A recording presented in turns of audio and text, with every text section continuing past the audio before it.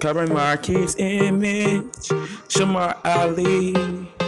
Oh, yeah. I woke up as Kristen, but my body was still here. I'm hearing voices in my head. Oh my God, I ain't dead. My family think I'm lying. So I post one of her pics. I can tell that she ain't really like it. The bitch turned to a damn witch. I used to sing, now I can't. Wonder if I can beat the N word. Damn, I can't even pick the N word. Where is that bitch? Where is that bitch? Where is that bitch? Where is that bitch? One stupid ass bitch. Man, fuck y'all niggas. Cause I'm doing better, better, better, better. I'm still trending. Awaken to this bitch. Steady talking.